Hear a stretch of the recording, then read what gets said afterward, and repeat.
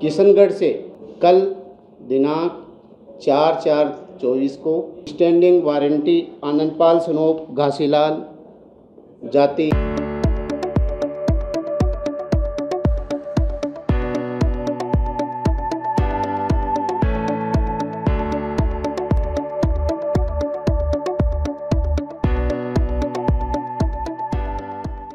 लो, लोकसभा चुनाव को मद्देनज़र रखते हुए श्रीमान एडीजी साहब, श्रीमान एसपी साहब, श्रीमान एडिशनल एसपी साहब और श्रीमान सीओ साहब के निर्देशन में और श्रीमान सीआई साहब के आदेशानुसार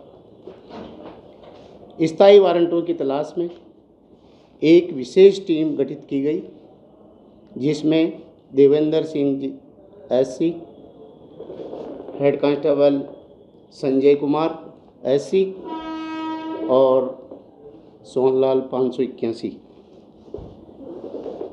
तो स्थायी वारंटियों की तलाश करते करते एक स्थायी वारंटी, श्री आनंदपाल सनोप, श्री घासीराम जाति मेघवाड़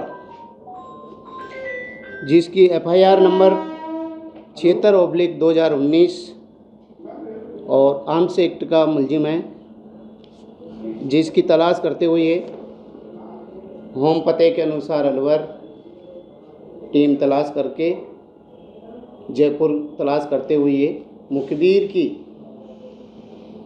कहे अनुसार किशनगढ़ से कल दिनांक चार चार चौबीस को स्टैंडिंग वारंटी आनंदपाल सनोप घासीलाल जाति मेघवाड़ को गिरफ़्तार किया गया है।